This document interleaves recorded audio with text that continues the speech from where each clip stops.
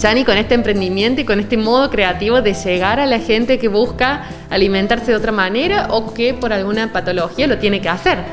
Eh, en realidad tratamos de llegar a un público en general, o sea, tenemos, yo le digo como que es un almacén, una dietética virtual, digital. Tratamos de que haya de todo. Si bien cuando empezamos era como más onda orgánicos, nos ampliamos bastante por el tema de la pandemia. Eh, el tema así con patologías, eh, o sea, nosotros no indicamos, no, no, asesoramos en ese sentido. Tratamos de que si tienen alguna afección en particular, nos digan. O sea, lo único que podemos ofrecer así sin miedo es lo que es para celíacos, porque viene sellado con el logo Sintac. Pero si tienen alguna afección en particular, no somos de sugerir en ese sentido.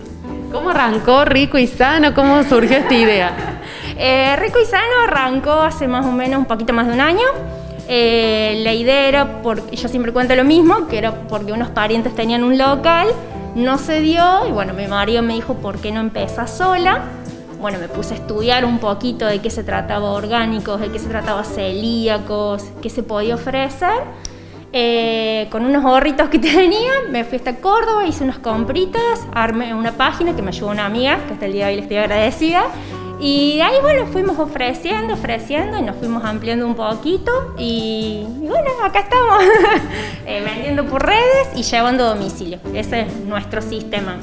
¿La gente puede hacer encargos eh, de un día para el otro? ¿Cómo se organiza? Em, de acuerdo a lo que vean en redes o si quieren algo en particular, nosotros siempre dejamos un WhatsApp. Nos pueden escribir siempre a WhatsApp. Eh, por lo general tratamos de que sea un día antes, que tomen el, eh, nos manden el pedido y nosotros al día siguiente ya se lo podemos llevar por la mañana en lo posible.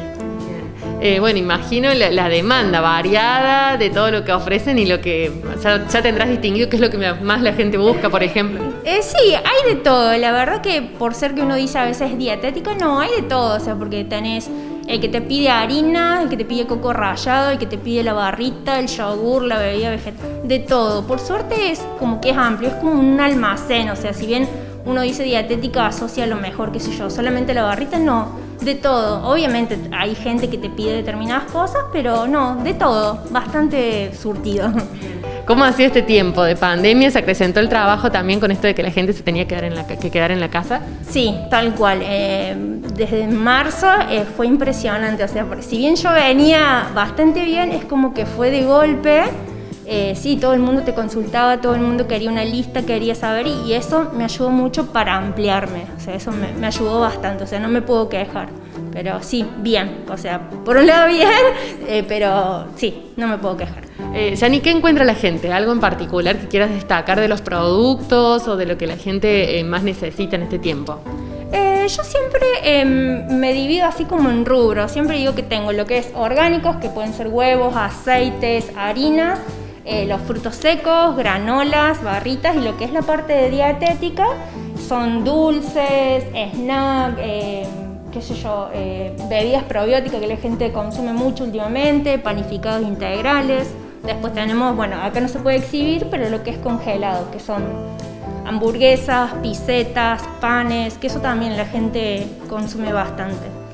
¿Cómo hace la gente? ¿Cómo te encuentra? Eh, la gente me puede encontrar en Instagram o en Facebook, eh, ricoysano.rio3. Eh, bueno, ahí tenemos WhatsApp también que es 3571 618456. Ahí nos pueden encontrar y contactar.